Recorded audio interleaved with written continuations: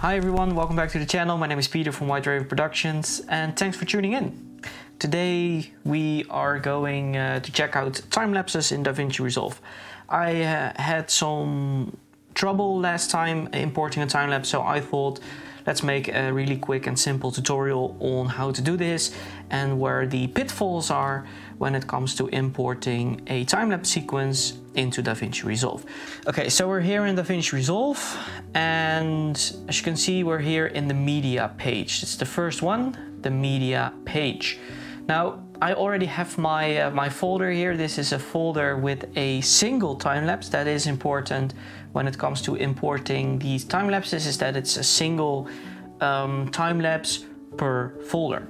So, and when you open this folder, you can see here, you can see all these pictures, but it would be great if I can import this as a single file that's already made a time lapse.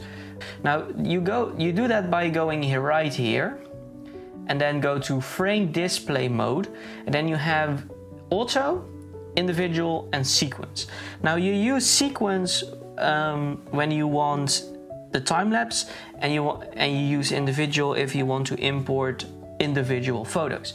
So if I click on sequence, you can see here and it makes one file. As you can see, it's the first file until the last one.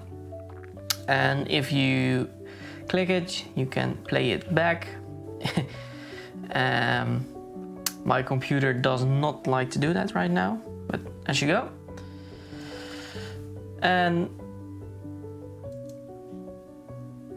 and this and here is the file, so you can simply import it and now you have a file that you can use right here as your time lapse. Put it to scale and there you go. So super quick video, super easy tutorial, but now you know how to import a time-lapse into DaVinci Resolve and where to look if the settings don't match. Thank you for watching, uh, consider subscribing if you find it useful, and I hope to see you in the next one. Later.